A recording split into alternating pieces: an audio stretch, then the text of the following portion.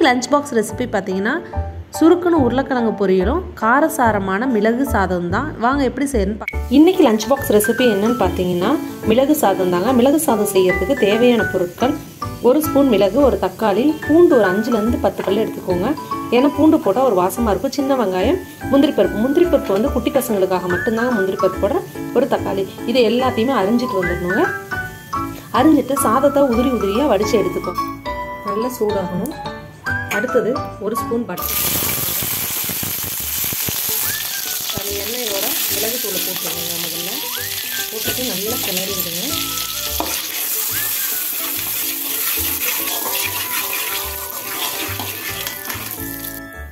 அடுத்தது பூண்டு இப்படி தட்டி இதோட சேர்த்துக்கோங்க.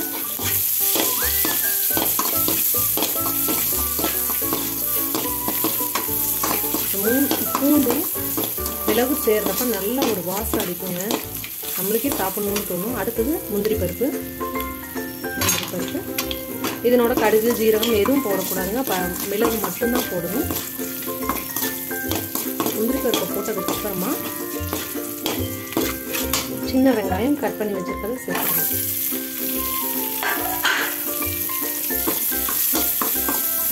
எல்லாமே அடுப்பு சிம்மில் வச்சு செய்யணும். கையில் வச்சுங்க கருகிடும். நல்லா வெங்காயம் வளர்ப்பெடுத்து அதுக்கு தக்காளி அரைஞ்சிட்டு வந்துடலாம். தேவையான அளவு கருவேப்பிலை சேர்த்துக்கோங்க. நான் போட மறந்துட்டேன். இந்த எண்ணெயில் போட்டிங்கன்னா நல்லா பொறிஞ்சு நல்ல வாசமாக இருக்கும் கருவேப்பிலை சேர்க்குறப்ப. இப்போ வெங்காயம் எல்லாம் வணங்கிடுச்சுங்க. நம்ம அடுத்தது தக்காளியை போட்டுடலாம்.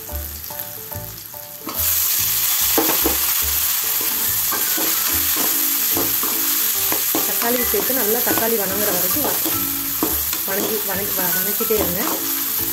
ஏன் பசங்களுக்கு கொஞ்சம் கோல்டு இருக்கனால சரி லஞ்ச் பாக்ஸ் இப்படி செஞ்சுருக்கேன் நீங்களும் நாளைக்கு இதே மாதிரி ட்ரை பண்ணி பாருங்கள் உங்கள் பசங்களுக்கு ரொம்ப பிடிக்கும்.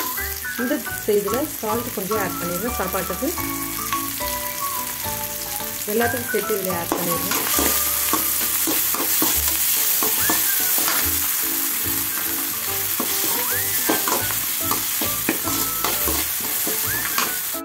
நல்லா வடித்த சாதத்தை எடுத்து இந்த மாதிரி ஆற வச்சுருங்க ஆற வச்சுட்டு கொஞ்சம் உங்களுக்கு கொலையாக தெரிகிற மாதிரி இருந்தால் ஒரு ஸ்பூன் எண்ணெய் ஊற்றிடுங்க எண்ணெய் ஊற்றிட்டு கலந்து விட்டுருங்க.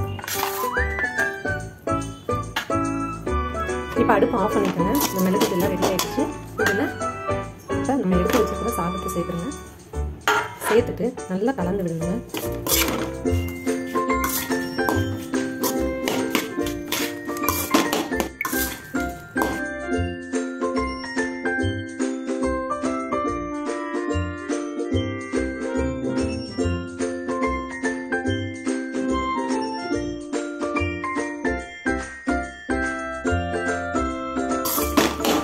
மிளகு சாதம் ரெடி ஆகிடுச்சுன்னா லஞ்ச் பாக்ஸ் ரெசிபி குழந்தைங்களுக்கு வந்து சளி இல்லை இருமல் இருக்கிற சமயங்களில் இந்த மாதிரி கொடுத்தீங்கன்னா அவங்களுக்கு சீக்கிரம் சரியாயிடும்.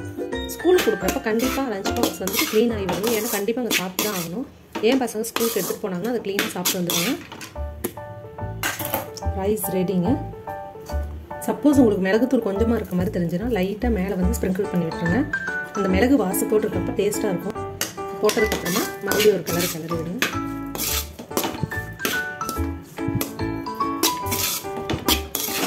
மழைக்காலங்களுக்கு ஏற்ற மிளகு சாதம் ரெடி ஆகிடுச்சு நீங்களும் கண்டிப்பாக ட்ரை பண்ணி பார்த்து கமெண்ட் பண்ணுங்கள் தேங்க்ஸ் ஃபார் வாட்சிங் என்னோட சேனல் பிடிச்சிருந்தா சப்ஸ்கிரைப் பண்ணிக்கோங்க. உங்களோட இந்த வீடியோ வந்து உங்களுக்கு ஹெல்ப்ஃபுல்லாக இருந்தால் உங்கள் ஃப்ரெண்ட்ஸ் அண்ட் ஃபேமிலியோட ஷேர் பண்ணிக்கோங்க.